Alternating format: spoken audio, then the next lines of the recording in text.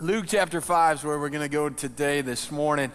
If you weren't here last week, man, you missed a great, great service and powerful message.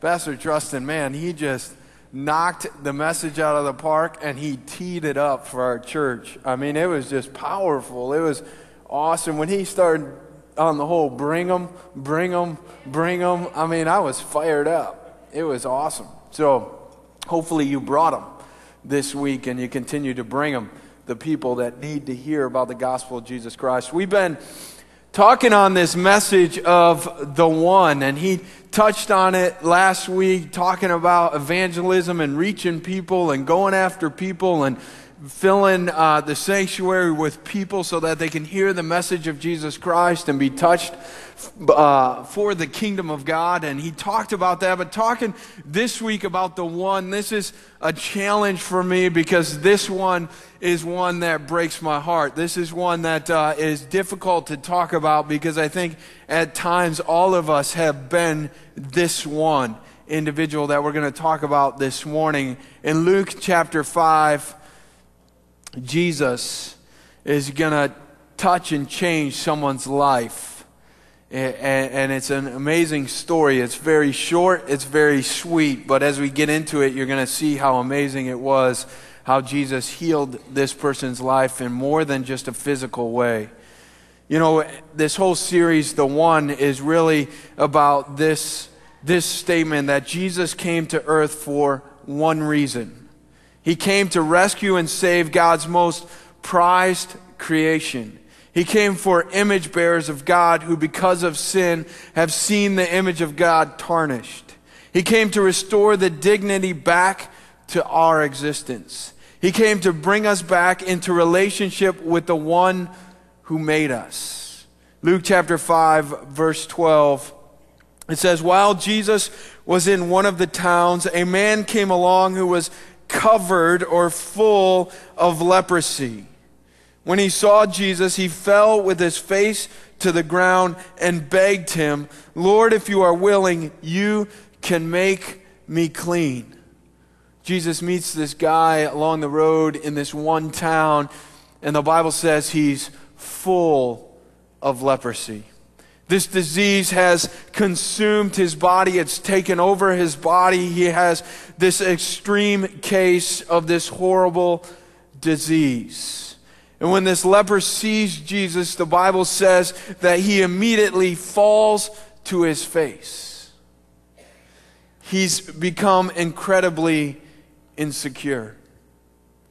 Physically, you, you just imagine the effects of leprosy. I don't know if you know anything about the disease, but it's a horrible, nasty disease. And if it's taking over his whole body, he's likely that he normally would hide his face from other people. It's a disease where, where you lose feeling in, in, in your skin and, and nerves begin to die and literally parts of your body die. They decay. Before you've died, they actually begin to decay. Parts of your body might fall off. It's been said that lepers, it wasn't uncommon for them when they were sleeping so close to the fires to wake up and have their arms or feet be in the fire burning and they didn't even know it. It's not uncommon for them to wake up and have animals eating the rotting skin on their bodies. It's a nasty, nasty disease, and he fi- hides his face from Jesus.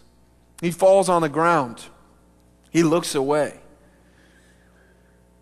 You know, I think somebody who has that kind of disease is dealing with more than just a physical situation. They're dealing with an emotional and psychological uh, toll in living that kind of lifestyle as well. He's been trained over time not to look people in the face. He is predisposed to assume that he won't be accepted. So he just falls down, and all he can do is beg Jesus. And he says something very interesting. He says to Jesus, he says this wor- these words. He says, Lord, if you will, you can make me clean. He doesn't doubt Jesus' ability. He doesn't doubt that Jesus has power. The leper says, You can make me clean. He knows Jesus is able, he knows Jesus is capable, but he doubts Jesus' willingness. What I'm about to tell you next might break your heart for the people that we're talking about today, or perhaps it will prick your own heart because it's going to hit very close to home. Why would this leper say to Jesus or doubt that Jesus would be willing to clean him? Because no one has ever been willing before. He says, I know you can, I'm just not sure I'm worth it. I'm just not sure I'm worth it. Lepers lived in leper colonies in an attempt to control the disease from spreading. So if you were diagnosed with leprosy, you were cast away from your families. You, you were told that you couldn't be with your kids or, or go back to your job. You couldn't go to your community. You were tossed into a leper colony. A leper colony was a people junkyard. It was where people who were too sick and broken and deteriorated went to be not to be fixed, but they were sent there to decay and to die. Can you imagine being tossed away in the people junkyard? Just waiting to die. It was a smelly place. It was a lonely place. It was a very depressing place. And if someone healthy did try to reach out to you, they did try and come to you, they did try and comfort you, they did try and socialize with you. Perhaps your family missed you so much and they wanted to come to you and they came to embrace you. By law, you were required to yell, unclean, unclean. By law, you were required to tell people to stay away, stay away. I'm not worth it. So when Jesus came, all of these insecurities came to the surface in this man who was filled, filled with leprosy. You know, I'm, I, I'm sure, I'm certain actually, that many in this room this morning are filled with similar insecurities. You don't have leprosy, but something is pushing you to a lonely and depressing place. A state of living and feeling as if you aren't worth it. You know, I worked with teenagers for years.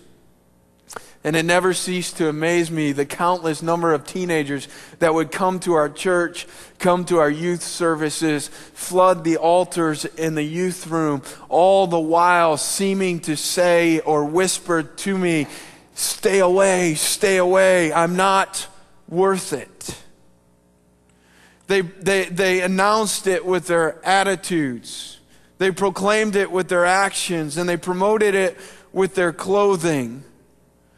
They pushed us away because they had this idea that I'm not worth it. Something in society, something in their past, a past relationship, insecurities in their own life caused them to say, Don't love me, don't embrace me, don't come near me, I'm not worth it. And they push away until they experienced the love of Jesus Christ. A love that they had never experienced before. Somebody had took their weaknesses, their failures, everything bad about them and everything good and embraced them regardless of what it was. Somebody who just unconditionally loved them. Somebody who was willing to pay it all for them. And they realized a love like they've never experienced in this world. And let me tell you something these students who came, some of them, they, they weren't the rebels, they were good looking kids. They were sharp, they were clean, they were beautiful. They, they, they were sharp mentally. They had it going on. They made good grades. They were successful in sports. They were successful with their friends. They were popular. But they came still with this mentality I'm not worth it. Unclean, unclean, stay away, stay away. Now, I think there's people in this room that feel the same way. I'm not worth it. My past, it exempts me from the love of God. I heard the message this morning during worship about how God loves you. And, and somebody came and said, I, I feel like people are resisting the love of God because of their past, because of sin. And let me tell you, that sin will cause you to say, I'm not worthy. I'm not worth it. I know Jesus is powerful enough. I know Jesus can clean me. I know Jesus can touch me. I know Jesus can change me. I don't doubt Jesus can do it. But is Jesus willing because I'm not worth it. This unclean man comes to Jesus and he cries out and he basically says, You can make me clean. Word is that you are powerful, Jesus, and you've been healing all kinds of people. But why would you bother with me? I doubt that I'm worth it. And watch what Jesus says. Verse 13. And Jesus stretched out his hand and touched him saying, I will be clean. And immediately the leprosy left this man. Jesus could have just spoken to him. Jesus, from the story we talked about two weeks ago, he could have just reached out and hacked a loogie on him. But Jesus doesn't do that, does he? Jesus, it says that Jesus touches him.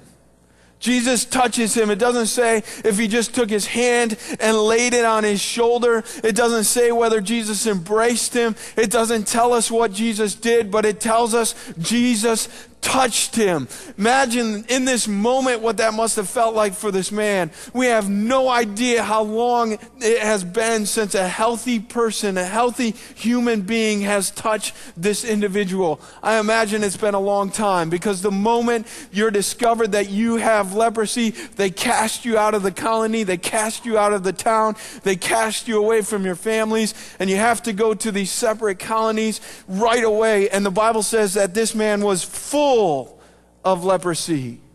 He was far along in the stages. In fact, I would go as far as to say at this point, he probably looked like a monster. And the Bible says Jesus touched him. Something very powerful about human touch. You and I all know we long for human touch.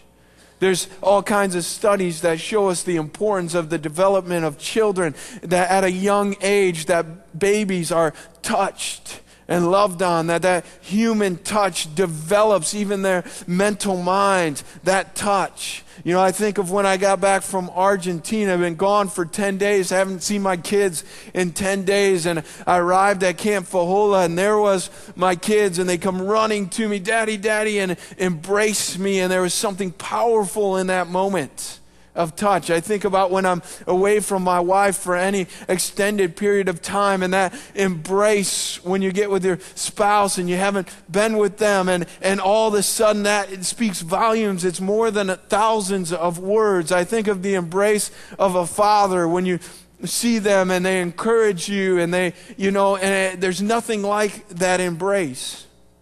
You know, I've been told by parents who have children with special needs special needs where the child doesn't really uh, necessarily maybe desire touch or want ch- touch because of what they're struggling with and, and, and how much these parents just long to embrace their children. There's a longing in it.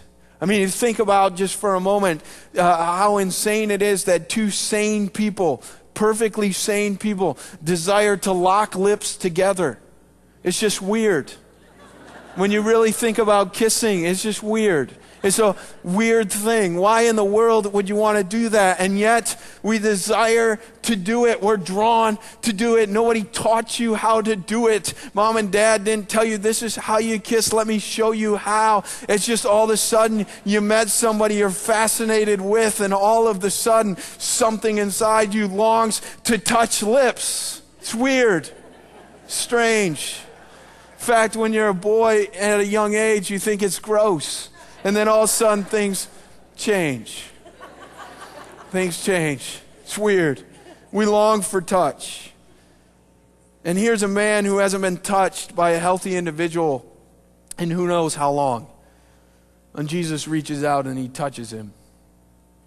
And when Jesus touched him, he spoke these words. He said, I will. And the leprosy disappeared immediately. Those two words, I will, could be interpreted as you're worth it. You have value. You know what I love about this is this is such an awesome description of the power of Jesus over sickness and sin and disease. Leprosy was highly contagious. And in the first century, there was no medical technology to stop it from spreading. So, by law, most people were forbidden from touching lepers because of the fear that they would contract the disease. But Jesus' power works the other way. He touches this leper, but instead of getting what the leper had, the leper gets what Jesus had. Jesus transfers power, he transfers wholeness, he transfers healing, and he transfers value back into this individual. Value is restored in this man's life. We live in a region where value needs to be restored. You don't have to look very far this morning to find individuals who feel devalued, who feel lonely, who feel worthless. Any number of reasons has put people in these places. The economy may have put people in these places. Their sin or someone else's sin might have put them in this state. It might be a health issue that's caused them to feel not worth it. Or it just could be a certain phase of life that you're in and you feel like you're not worth it because you live in this phase of life. Let me tell you that the economy isn't helping with this disease. The crime isn't helping and the wide and quick acceptance of sin isn't helping either. There are people that feel a sense of living in a people junkyard. If you looked at the stats of where we live across the nation, let's just say for a moment that you happen to live in Texas and you're looking for a new place to move, and you begin to look up the best cities and best places to move to. Let me tell you something. If you look that up, if you Google that, you're going to look at Flint and you're not going to say, that's the place to go. You're likely to say, that's a people junkyard. It's just the way it is. You and I know that's not necessarily the case. You and I know that there's still hope here. You and I know that there's still value here because we know the people who live here. And there's value in people. People have intrinsic value. It's the Imago Dei that we talked about a couple weeks ago, that each individual has intrinsic value and worth. And the challenge to us is are we going to show those individuals Jesus? You see, Jesus is still in the restoring business today. He's still about restoring his image in people. Jesus is, is not looking at your life and seeing the leprosy. Jesus doesn't look at you and say that you're not worth it. Jesus leans down in your state, whatever state that might be today, wherever you might be you might be saying unconsciously to every person around you, I'm unclean, I'm unclean, stay away, I'm not worth it. And yet Jesus is getting down on your level and he's grabbing a hold of your shoulders and he's embracing you and he's saying to you today, You are worth it. You have value. Jesus is passionate about people. Jesus had a golden touch that could restore the image of God in the most broken person's life. Jesus told this leper after he healed him. He, he, he told him to get up and he said, You're healed. And he said, I want you to go to the priest and I want you to go present yourself to the priest. By law, the law of Moses, the, any person who had a disease, if they were healed, had to go to, Mo, uh, go to the priest and present themselves to the priest. And the priest would then gather around, they would check the person out, see if they had actually been healed. If they had been healed, then they would allow them to go back to their position in society. Jesus was was telling this man, I have not only healed you, but I've restored you back to your proper position in society. He restored value to this individual's life. And Jesus would do this oftentimes. He would walk into the people junkyards of his culture. And no matter who he met, He saw their eyes, he looked into their eyes, he listened to their story, and he restored value and dignity to their life. You see him put a smile on the face of a woman from an oppressed racial group who was coming off her fifth failed marriage. You see him pull in a close woman who had a physical bleeding disorder for 12 years, and he calls her daughter. You see him kneel next to a man with so many demons that he had to live in caves where he was literally chained up, cutting himself and screaming through the night. And Jesus heals him. He sets him free, and he uses the man's real name. You see him follow a Roman official who was ostracized by the religious community. He, Jesus follows this man back to his house and he heals his daughter and he says to them, him, You may not be Jewish, but you're worth it to me. And you see him touch this leper who had forgotten what it felt like to be touched by another human being. And he says, I am willing, be clean. That's Jesus. That's what Jesus does. It's awesome. And let me tell you something. We've been challenged the last few weeks that that needs to be what Trinity is as well.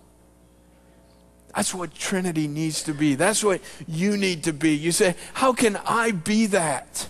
How can I be that? Look at my life. Look at who I am. I'm not a pastor. I'm not an evangelist. I'm not a teacher. I'm not a prophet. I'm not any of those things. Let me tell you something. The Bible says that Jesus gave those gifts to the church to equip the church to do the work of the ministry. Let's not forget that to do the work of the ministry. Every person you encounter is an individual who may be feeling like they're unclean and they're unworthy and they're not worth it. Every individual. They might be hiding behind successful career. They might be hiding behind uh, their personality. They might be hiding behind money. They might be hiding behind success. They might be hiding behind relationships and popularity. But let me tell you something. If you dig deep enough, sometimes you'll discover that they're still feeling unclean and unworth it, and they want to push you away. And they put that other stuff in front because they feel like that's their identity. That's where their value is.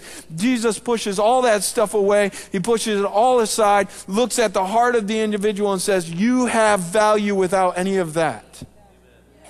Without any of it. You have value. You're worth it. Those individuals need to know that they're worth it. Perhaps you're sitting here today in our sanctuary today and you're feeling like I'm one of those. I'm feel unclean. Maybe it's not that you feel like you're in the junkyard of life, but maybe it's you feel like uh, uh, uh, you're, you're there because of something that's going on in your life. I talk to individuals who don't feel worth it because things are going on in their marriage. And they don't feel worth it. They don't feel loved by a spouse. So they've taken that identity upon themselves that they're not worth it. They beat themselves up. They push themselves away from other people. They go into states of depression and loneliness because they feel they're not worth it. I've talked to men who are very successful, seem to have it all together, but feel like they, they, they've, they've failed secretly in life and, and there's secret sin in their life, and they're afraid that if they expose it, they'll lose everything and they'll have no value and they'll have no worth. Let me tell you something Jesus knows your sin, Jesus knows the leprosy in your life. He knows the thing that's eating you up. He knows the thing you're struggling with. He knows the thing that causes you not to look people in the eye. Jesus knows it. He knows every single thing about you. The Bible says He knows every hair on your head. He knows it all. Jesus knows it all, and He still gets down on your level and says, You're worth it. You're worth it. I shared this a couple of weeks ago, and I'll share it again. I said, You know the value of something by what somebody's willing to pay for it. Jesus paid it all. He took his life and put it on the cross and died for you because you're worth it. No matter how deep the sin, no matter how far you've run away from God, Jesus says, you're worth it. Perhaps you feel that uh, you're not worth it. You're the one today because you've lost your value. You feel you lost because you, you gave your value to somebody else. You know, I've dealt with teenagers for years and adults who feel like I have no value because I've given away my value to somebody else. I gave it away, and I know it wasn't, I didn't do it in a worthy manner. I know I didn't do it God's way, and so I feel like I don't have value to God because I pushed myself away. Let me tell you, when the prostitute came to Jesus, he gave her value again. Jesus sees you, that you have value. I'm going to invite the worship team to come. Perhaps you feel like you're the one today because you're ashamed of who you are or what you did. Perhaps you feel that you don't have value because You've wandered away from God. You've run from God. Let me tell you something. Jesus gave three parables in the Bible about one, the one. He gave a parable about a shepherd who lost one sheep. He left all the others to go find the one. He gave a, a parable about a woman who had lost one coin. And she had a bunch of other coins, but she tore apart her house and she swept under the bed and she searched desperately for that one coin. And then he gave the parable that Pastor Trustin shared last week about the prodigal son who, who had wandered away and, and squandered all his wealth. And, and, and, and the father waited for the one. Why would Jesus share that to thousands of people? Because Jesus cares about the one. And Jesus is desperate for the one. Desperate to do what? Desperate to restore the image of God in your life. Desperate to make you whole. Pastor Scott said it so well today. Desperate to give you his peace, his wholeness. Desperate to make you right again with the Father. He's desperate. And Jesus is desperately in love with you, regardless of how you feel regardless of when you look in the mirror, whatever you see. If I was to hand out mirrors today all across this room, or have a mirrors all across the stage. I did this once with the teenagers. I had big mirrors all across the stage. So I preached a whole message where they had to watch themselves in the mirror while I preached the message. And, and as you watch yourself, you become self conscious, right? You, you're watching yourself, you see something wrong on your hair, and you see the students like fixing it in the mirror, you know, as I'm preaching, and they're examining themselves. And, you know, that if I was to do that today, you might respond different ways. You might look into the mirror today and sit up a little taller, maybe try and suck it in a little more, maybe test your chin fat and see, or, or you know, you're just going to look at yourself and you're going to see all of the bad. That's just what we do. We see all of the bad, and there's nothing necessarily wrong with that because we all want to try and better ourselves. And that's what the, this leper did with Jesus. He knows who he is. He knows the sickness that he has. He knows how disgusting it is. He knows that he's a monster to the rest of society. And so he falls down on his face, doesn't even look at Jesus. And Jesus' response is so quick and so loving. He gets down and he touches him.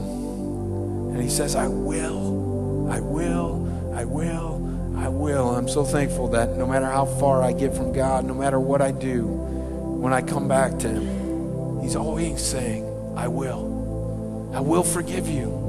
I will love you. I will change.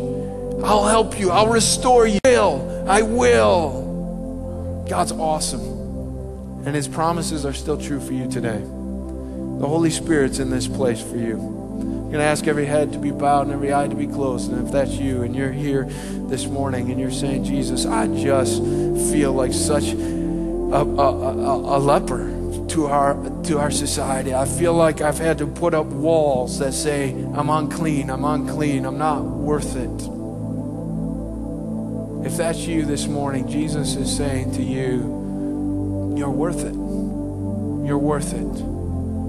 I love you. You have value.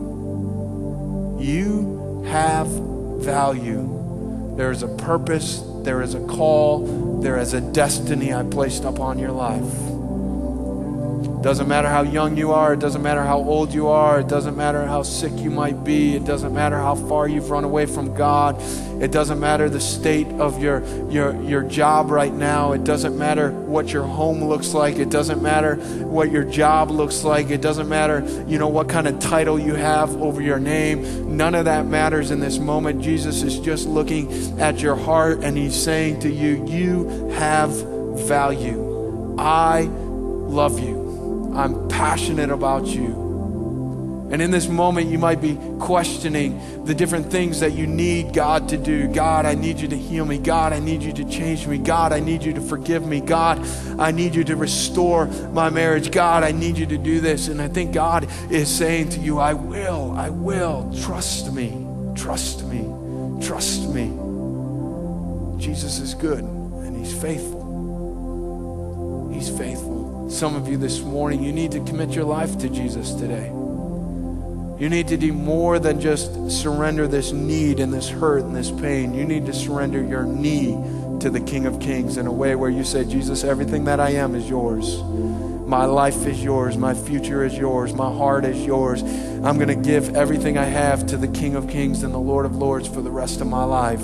Jesus, I believe that you are the sacrifice for my sins. Jesus, I believe that you're the King of Kings. Jesus, I believe that you're the one and only God. And Jesus, today I confess that you are the Lord of my life. Some of you need to do that this morning. I encourage you to do it. There's no magical words to it. It's just a matter of you speaking from the heart and saying, Jesus, I need you in this moment. You need to do that. We're going to open up the altars right now, and I'm going to ask the elders to come and the prayer team to come if you're willing. Maybe you need to be one of the ones at the altar this morning.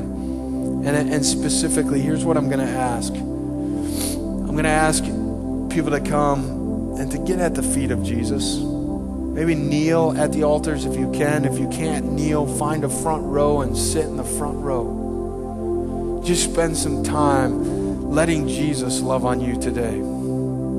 The pastors and the elders who are going to be praying and their wives and the prayer team, we're just going to come along and lay a hand on your shoulder and just pray. We don't know what the need is in your life, but I want you, as we lay our hands on your shoulder and we begin to pray in agreement with you, I just want you to understand that Jesus is touching you today. Jesus is reaching out and loving on you today.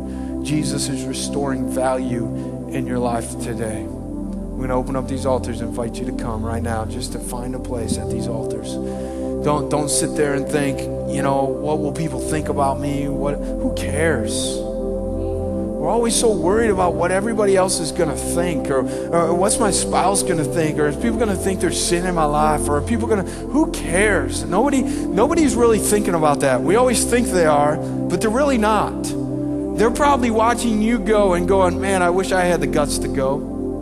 I wish I could respond. I wish I could let Jesus just work on this insecurity in my life. I wish I could confess like they're confessing right now. I wish I would allow Jesus to heal me right now. I wish I could go. I wish I wish I could lay at the feet of Jesus. And sometimes we just resist because of certain things in our lives. And let me tell you something. All you're doing is putting up the walls and saying, unclean, unclean, unclean, unclean. And you know what? That leper could have done that that day. When Jesus showed up, that leper could have just said, unclean, unclean, unclean, pushed away from Jesus. But he didn't. He went and found the feet of Jesus sat down at the feet of Jesus or fell at the feet of Jesus. And Jesus touched him and Jesus healed him that day. I believe Jesus has healing for you today, and it starts in your heart. It starts in your heart because that's where your value starts. Jesus is looking at your heart and he's giving you value today. Would you allow Jesus to do that this morning? Invite everybody else to stand to your feet and uh, we're going to pray. We're going to close, but we're going to continue to have time here at the altars. If you're just waiting for whatever reason, it's not too late to come. After we close in prayer, you can come. Uh, don't hesitate. If you thought of something while I'm praying, come. Find healing. Jesus is the healer. Lord, I just thank you, Jesus, that you're the one that pursues everyone. Lord, your word says that your desire is that all would be saved. And for that reason, Lord, that's why we still are waiting for the second coming. Because, Jesus, you're patient with us, the Bible says. You're patient with us, and your desire is for all to be saved. Lord, I'm thankful in my own life when I reach the places where I'm lonely or depressed or far from you or feeling like there's things that have made me unworthy.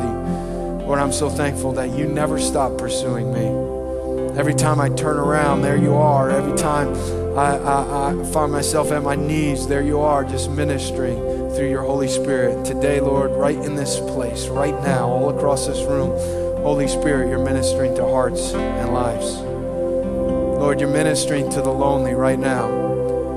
You're ministering to the person who's feeling far from you right now. Holy Spirit, you're healing hearts right now, and you're healing lives, and you're healing disease right now, all across this room. Lord, you're healing them in this place because, Lord, your desire is for us to go from this place to find the one.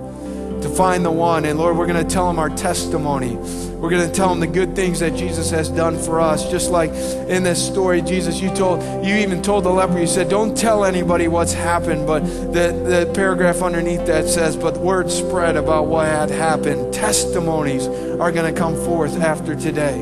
People are going to begin to testify of the goodness of Jesus Christ. They're going to begin to tell people about the love of Jesus because they're going to be healed right here in this place.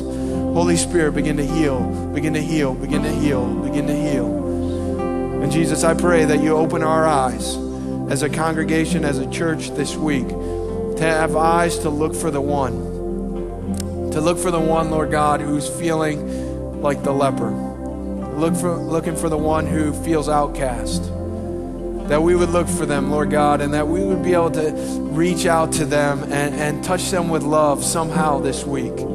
Maybe it's an encouraging word. Maybe we befriend them. Maybe, Lord God, we show them uh, an act of love this week and reach out to them. We send them groceries. We encourage them with a gas card. We, uh, uh, whatever, we bring their kids to church. We do something that we're looking for the one to this week, Lord. Give us eyes to see, I pray. Open our eyes. Open our eyes, God. Give us eyes like Jesus. In Jesus' name. All across this room, Lord, I pray that, that you would bless these, these people, these individuals, these families. Lord God, I pray that you would keep them. May your, your face shine upon them this week. Lord, may they experience the good things of your hand. Lord, I pray that you anoint the elders and the pastors as we pray. May we, we be Jesus to these individuals right now in Jesus' mighty name.